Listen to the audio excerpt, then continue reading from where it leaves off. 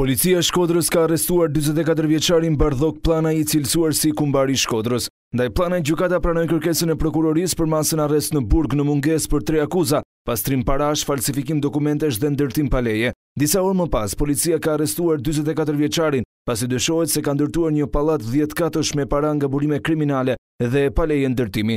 Gjykata ka vendosur sekuestron e këtij objekti që ndodhet në qytetin e Shkodrës në pronësi të tij, objekt i cili ka vlerën e dy milionë eurove. Pllanaj është një personazh i njohur për policinë, pasi katër vite më parë është arrestuar për trafik droge. Bardhok Pllanaj njihet si njeriu që trazoi politikën dhe policinë disa vite më parë. Në vitin dy mijë e katërmbëdhjetë, kumbari i Shkodrës u fsheh në makinën e Frrokut për t'iu shmangur arrestimit nga policia, e cila e kërkonte për trafik droge. Në atë kohë deputeti Frroku mohonte të ketë ndihmuar Pllanajn t'i shmangej arrestimit, por në raportin e oficerëve të gjurmimit në sektorin e narkotrafikut, shkruhej se i dyshuari në survejim prej tyre ka lëvizur nga lokal Antika në Tiranë drejt Laprakës në automjetin Audi në pronësi të deputetit. Dyzet e katër vjeçari është nga Shtoi i Vjetër i Shkodrës. Pllanaj është hetuar së bashku me disa persona të tjerë si pjesë e grupit të të arrestuarve në kuadër të operacionit Laguna e Vilunit, madje ndaj tij u nxor edhe një urdhër arresti, por në atë kohë nuk u gjet. Më pas ai i shpëtoi dënimit për shkak të mungesës së provave. Gjatë operacionit Laguna e Vilunit të zhvilluar më datë 30 shtator 2014, Në vendin e quajtur Rana e Hedhun,